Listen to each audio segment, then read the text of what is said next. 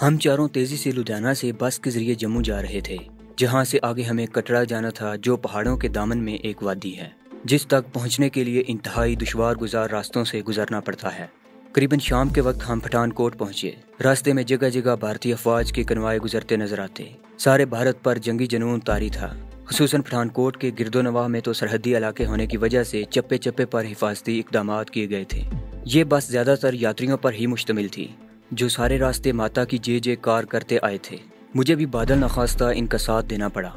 यहाँ भी सरहदी शहरों की तरह यही बात सुनने में आई। फलां जगह से पाकिस्तानी जासूस पकड़ा गया। फलां जगह वो लोग कुएँ में जहर मिला रहे थे।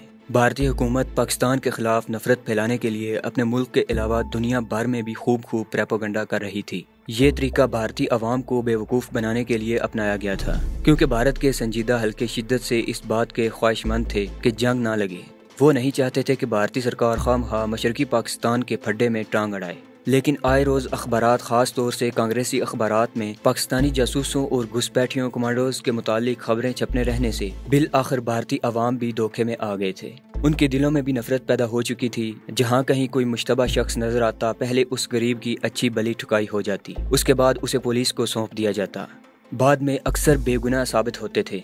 पठानकोट छोटा सा शहर है, लेकिन हिमाचल, पंजाब और कश्मीर का सिंगम होने की वजह से यहाँ कुछ ज़्यादा ही गहमा गहमी देखने में आती है, जिसमें ज़्यादा हाथ सांबा, कठोआ शेजानपुर और उसके गिरदोनवा में बसने वाली गुज्जर कौम का भी है। इस खत्े को कुदरत ने अपने लाजवाल हुसन से नवाजने में कभी बुखल से काम नहीं लिया। पंजाब और कश्मीर के हुसन की आमेजश यहाँ देखने को मिलती है। गुजर कौम के मर्दों को खेती बाड़ी के मौके मैसर न होने की वजह से और तो कोई काम करने को होता नहीं, वो कोहबागरी शुरू कर देते हैं। सुबह पठानकोट में इन इलाकों से ताज़ा दूध आता है और शाम के बाद औरतें खसूस पठानकोट, छावनी और शहर में वाक़ दूसरे रेजिमेंटल हेडक्वार्टर्स में इनकी आमदोरफ्त लगी रहती है। सरहदी इलाकों से लूटने वाले सिपाही बगल में रम की बोतलें दबाए, जो इन्हें सस्ते दामों मिल जाती है, कोहबा खानों का रुख करते हैं। यही दिलचस्पी गुरदासपुर, दीनानगर और पठानकोट के इर्द गिर्द बसने वाले रंगीन मजाजों को कुशा कुशा पठानकोट की तरफ़ लाती है। किसी न किसी तमाशबीन का, किसी न किसी फौजी से फट जाना यहाँ रोज़ाना का मामूल बन चुका था। पठानकोट में बस ने करीबन आध घंटा ठहरना था। हमने भी दूसरे यात्रियों की तरह लारी अड्डे में वाक़ एक होटल का रुख किया, जहाँ विष्णु ढाबे पर हर चीज़ तिगने बाव बिक रही थी। होटलों वाले यात्रियों को खसूस दोनों हाथों से लूट रहे थे। दाल फुल के जहर मार करके हम लोग वापस बस में आ गए। टिकट खरीदने वालों की एक लंबी कतार खिड़कियों पर लगी थी। ये वो यात्री थे जो मुल्क के दूसरे हिस्सों से यहाँ आए थे। और अब जिन्हें जम्मू तक जाने के लिए भी टिकट मिलना मुश्किल नज़र आता था, अमूमन दूसरे दिन बारी आती थी। हम खुशकिस्मत थे जो लुधियाना से बर रास्त जम्मू जा रहे थे। पठानकोट से जम्मू पहुँचना एक मसला बना हुआ था, क्योंकि इन दिनों पठानकोट को कश्मीर से मिलाने वाला वाहिद रबता सड़कें थी, फिर हवाई जहाज़। अभी तक पठानकोट से आगे रेलवे लाइन नहीं बनी थी। रेलवे लाइन बाद में कठुआ तक और फिर जम्मू तक बन चुकी है। कठुआ बस पहुँची तो हल्का हल्का अंधेरा छाने लगा था। यहाँ कश्मीर और पंजाब की सरहदें आपस में मिलती हैं और बहुत बड़ी चेक पोस्ट बनाई गई है। बस के रुकते ही चार इंटेलिजेंस वाले अंदर घुस आए और हर मुसाफिर को खा जाने वाली नज़रों से देख रहे थे और अपनी अफसरी जताने के लिए करीबन हर मुसाफिर का सामान चेक कर रहे थे।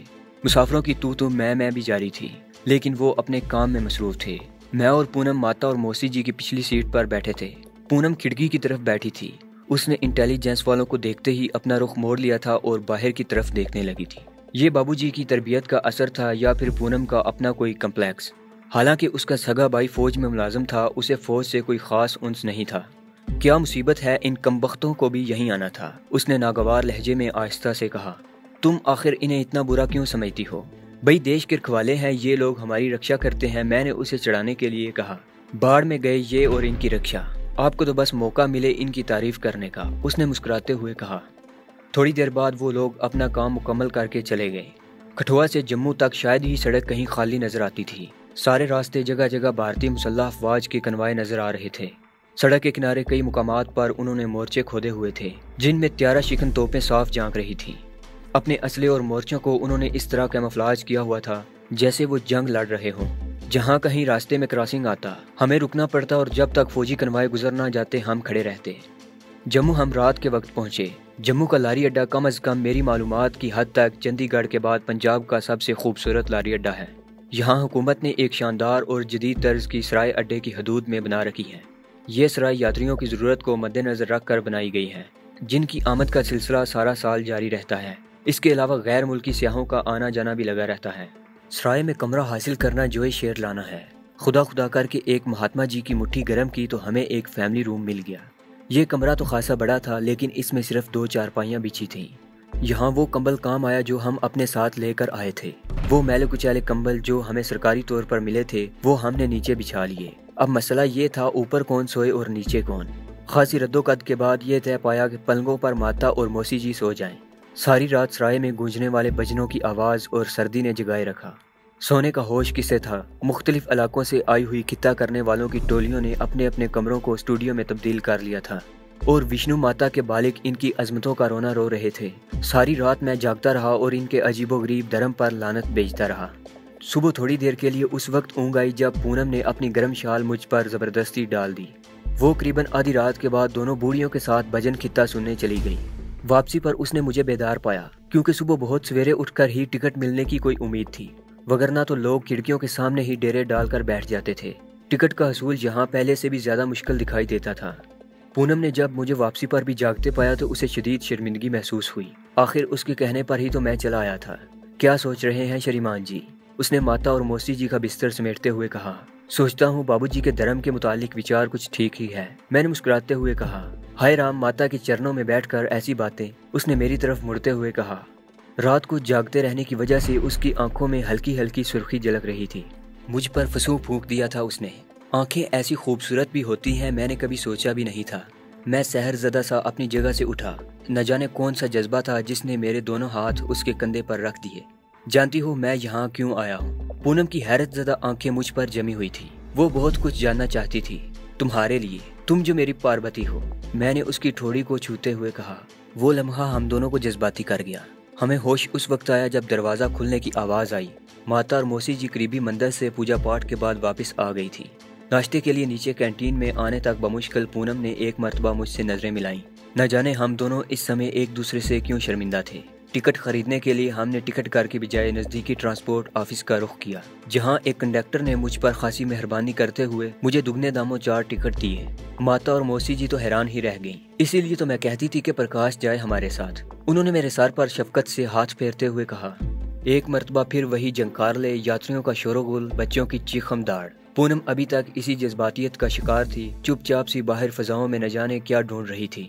क्या सोच रही हो? मैंने उसे अपनी तरफ़ मुतवजा किया। कुछ नहीं, उसने नज़रें झुकाए हुए जवाब दिया। कुछ तो है, आखिर ऐसी खामोशी भी क्या? हम बस के दूसरे मुसाफरों से अलग हैं क्या? एक बात है प्रकाश बाबू। हूँ, ये आप मुझे इतना मान ना दीजिए मैं आपसे क्या कहूँ? मैं कैसे आपको बताऊँ मैं आपकी दासी हूँ, देवी नहीं। उसकी बात से ज़ाहिर था जैसे वो कुछ कहना चाह रही है, कह नहीं पाती। पूनम, मैंने उसका हाथ मजबूती से दबाया। लफ्जों की जोलियाँ खाली हो चुकी थीं। कठुआ से दस बारह मील उधर ही बस रुक गई। मुकामी मलेशिया के जवान सुर्ख झंडियाँ लिए ट्रैफ़िक रोके हुए थे। पाकिस्तानी कमांडोज ने पुल उड़ा दिया है। अब कश्तियों का पुल बनाया जा रहा है। ये थी वो इतला जिसने सब पर सन्नाटा तारी कर दिया। सारी बस को जैसे सांप सूंघ गया। वो लोग जो सारे रास्ते शेरा वाली माता लाटा वाली माता के जनकारे लगाते आए थे, अब हरे ओम हरे ओम के अलावा उनके मुँह से कुछ नहीं निकल पा रहा था। पूनम की हालत भी दूसरे मुसाफरों से अलग नहीं थी। माता और मौसी जी जो हमसे अगली सीट पर बैठी थीं, उनका तो खौफ के मारे रंग ही फक हो गया था। मैंने उन्हें हौसला दिया और कहा हमारी सेना के सामने किसकी मजाल जो दम मार सके। ये तो बेखबरी में ऐसा हो गया। अभी मेरा फिक्रा बमुश्किल मुकम्मल हुआ था कि करीबी सीट पर बैठे एक लाला जी फट पड़े। अबे जहन्नम में गई तुम्हारी सेना। रोज़ाना अखबार इनके कारनामों से भरे होते हैं। कितने पकड़े जा सके हैं अब तक? लाला जी की बात ने मुसाफरों को दो हिस्सों में तकसीम कर दिया था। एक ग्रुप तो उन लोगों का था जो लाला जी की हमायत में अपनी सेना को कोस रहे थे, और दूसरे वो जो पाकिस्तानी जासूसों को बुरा भला कह रहे थे कि उनके हाथों से किसी को अमान नहीं। पूनम पहले ग्रुप का साथ दे रही थी। वो चूँकि कम गो वाकई हुई थी, इसलिए बहस में तो हिस्सा नहीं ले रही थी। अलबत्ता मेरे सामने अपने दिल की बड़ास ज़रूर निकाल रही थी। दो घंटे के जानलेवा इंतज़ार के बाद आखिर हमें रवानगी का सिग्नल मिल ही गया। ये सारा वक्त हमने बस के अंदर और बाहर आने जाने में गुजारा था। कटरा से पहले एक छोटी सी नदी आती है। जिसके गिर्द फौज ने उधमपुर की हिफाजत करने वाला रिडार सिस्टम कायम कर रखा है और इसकी वजह से इस इलाके की फौजी अहमियत बढ़ गई है। नदी पर से गुजरते हुए हमने वो पुल भी देखा, जो कश्तियों के आर्जी पुल से कुछ फासले पर बना हुआ था और जिसे बकौल भारतीय सैनिकों के पाकिस्तानी कमांडोज ने न जाने कितने दुशवार गुजार पहाड़ों का सफ़र करने के बाद न सिर्फ़ निशाना बनाया, बल्कि वो बखैर आफियत वापस भी चले गए। इस नदी से कटरा सिर्फ़ 10-12 किलोमीटर रह जाता था। और वो पहाड़ी सिलसिला जिससे पैदल गुजर कर हमें माता विष्णु के मंदिर तक पहुँचना था, उसमें रडार नसब किए गए थे। तो दोस्तों, ये थी पाकिस्तानी जासूस की किस्त नंबर 20 वीडियो पसंद आने की सूरत में इसको लाइक कीजिए और अपने दोस्तों के साथ शेयर कीजिए।